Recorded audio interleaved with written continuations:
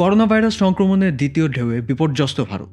তার উপর নতুন করে যোগ হয়েছে ব্ল্যাক ফাঙ্গাস। দেশটিতে কোভিড নাইন্টিন সংক্রমণের হার পড়তির দিকে থাকলেও মৃত্যুহার ঊর্ধ্বমুখী। আঠারো মে একদিনে সর্বোচ্চ সাড়ে চার হাজারের বেশি প্রাণহানি ঘটেছে। বিশ মে পর্যন্ত কোভিড পজিটিভ শনাক্ত হয়েছে আড়াই কোটির বেশি, আর প্রাণহানি প্রায় তিন লাখ। কোভিড পরিস্থিতির এ পর্যায়ে বিস্ফোরণার মতো এসেছে ব্ল্যাক ফাঙ্গাস।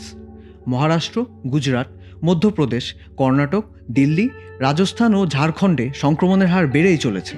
শুক্রবার ব্ল্যাক ফাঙ্গাসে সংক্রমিত একজনের মৃত্যুর খবর পাওয়া গিয়েছে পশ্চিমবঙ্গে। অন্যদিকে এই রোগের ওষুধ এমফোটেরিসিন বি এর তীব্র সংকট দেখা দিয়েছে। চলছে কালোবাজারি।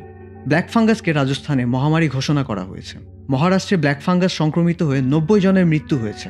সংক্রমিত হয়েছে প্রায় দেড় হাজার। প্রাণঘাতী এই রোগের ব্যয়বহুল চিকিৎসার দায়িত্ব বহন করার ঘোষণা দিয়েছে মহারাষ্ট্র রাজ্য সরকার।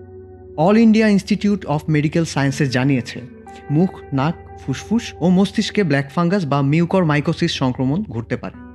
রোগী হারাতে পারেন চোখও। এই রোগে নাকের উপর কালচে দাগ, ঝাপসা দেখা, বুকে ব্যথা, শ্বাসকষ্ট এবং কফের সাথে রক্ত আসতে পারে।